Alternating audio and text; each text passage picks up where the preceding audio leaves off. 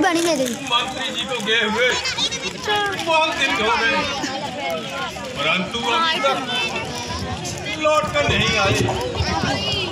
मेरे हिसाब से तो उनको कल ही आ जाना चाहिए था। मुझे तो आज का दिन भी खाली दिखाई देता है। समझ में नहीं आता। कि क्या करूँ? यदि ऋषि मिल भी गए होते तो क्या ऐसा ना हो कि उन्होंने आने से मना कर दिया होगा?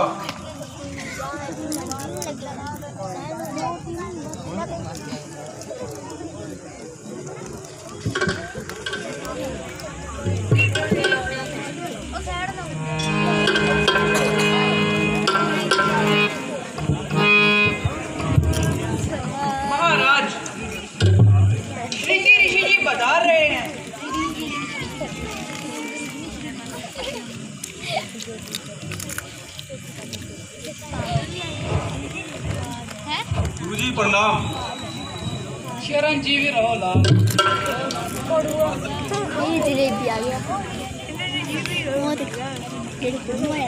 आपने बड़ी दया की।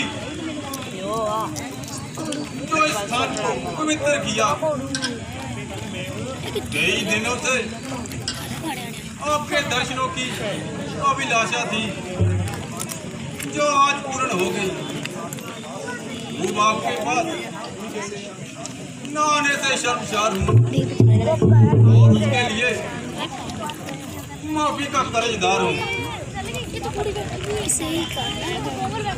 राजन। अपना अगला प्रयोजन बताओ।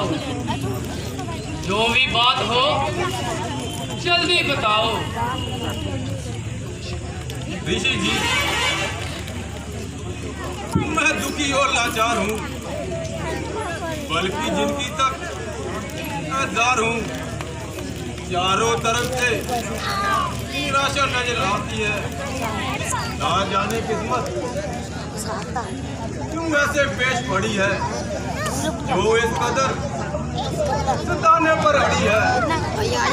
यदि हो सके तो सीट मेरा इत्मीनान करना वरना अपने हाथों से कौन ये कौन नहीं आई राजन ये कैसी बातें कर रहे हो? ये पहेलियाँ किसी और समय के लिए रखो। आप पर मुसीबत का ऐसा भी क्या फांदा है? यही तो दीक्षा का समय है।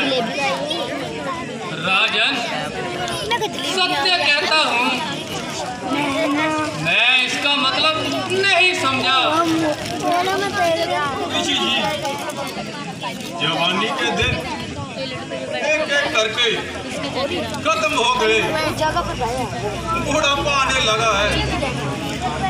लेकिन मैं आज तक औलाद से खाली हूँ। लगातार तीन शादियाँ करके दुनिया में बदनाम हुआ हूँ। परंतु सिवाय निराशा के कोई परिणाम नहीं हुआ। रघुकुल के अंत का समय नज़दीक आ रहा है। और हरे भरे घर को उन्होंने कुछ समय की मेहमान है। परंतु महाराज मेरा सौभाग्य है कि कृपा करके यज्ञ करके मुझे किताब कीजिए।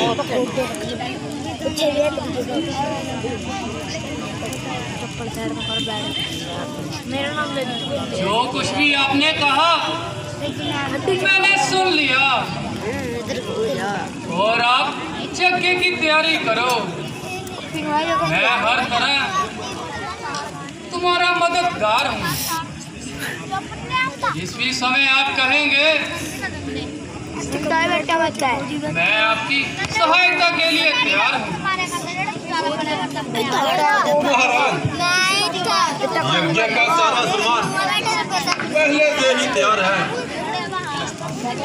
आप यज्ञ स्थान पर पहुंचकर ए ए ताड़ का दर लेना यज्ञ शुरू कीजिए। जिस किसी भी ज़रूरत होगी। वो भी हुक्म दीजिए। चलो। चलो।